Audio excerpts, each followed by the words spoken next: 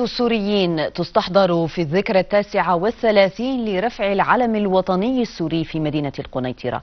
ذكرى النصر والتحرير. في وقت هم فيه أكثر تصميما وعزما على المقاومة كخيار استراتيجي لتحرير كل شبر من أرضنا المحتلة.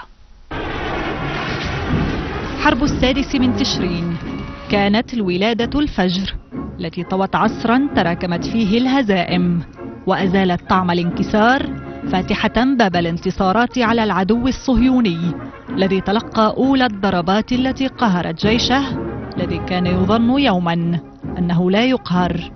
تحت عنوان النصر في حرب تشرين التحريرية تجلت إرادة الأمة العربية التي جسدتها التوأمة بين دمشق والقاهرة. ففي السادس من تشرين الأول عام 1973 قام الجيشان السوري والمصري بالهجوم على قوات الاحتلال الإسرائيلية على جبهتي الجولان وسيناء وتم رفع العلم السوري على أعلى قمة في جبل الشيخ. بعدها استنفرت إسرائيل كل قواها ولكن من دون جدوى ما اضطر الولايات المتحدة الأمريكية لمد جسر جوي من المساعدات العسكرية.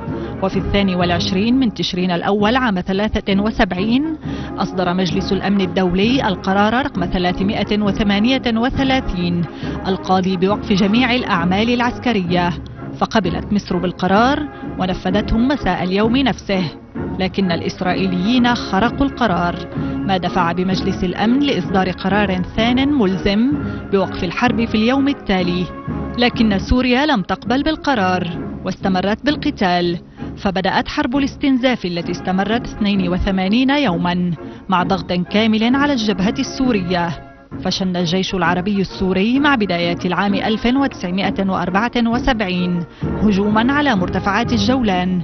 كبد فيه قوات الاحتلال خسائر جمة. ما أجبر الإسرائيليين على الانسحاب من شريط الأراضي المحتلة عام 67 بما فيها مدينة القنيطرة. وتوصلت الولايات المتحدة عبر جولات مكوكية لوزير خارجيتها آنذاك هنري كيسنجر إلى اتفاق لوقف إطلاق النار بين سوريا وإسرائيل. وبذلك توقفت العمليات في أيار عام 1974 وفي السادس والعشرين من حزيران من العام نفسه رفع القائد الخالد حافظ الأسد العلم السوري خفاقا في سماء القنيطرة المحررة.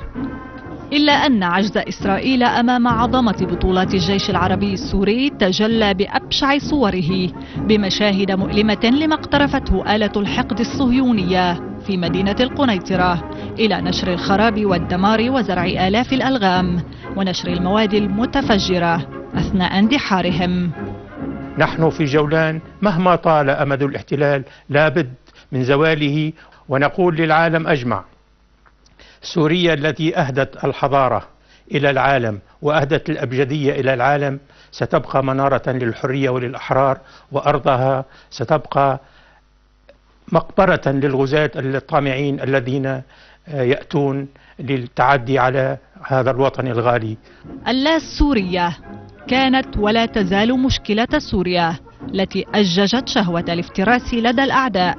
الذين بقيت سوريا وشعبها وجيشها غصة في حلوقهم فلم يعدموا وسيلة إلا واستخدموها لكسرها وليست الحرب التي تشن عليها اليوم إلا شكلا أكثر بشاعة من الحروب التي لم تتوقف يوما.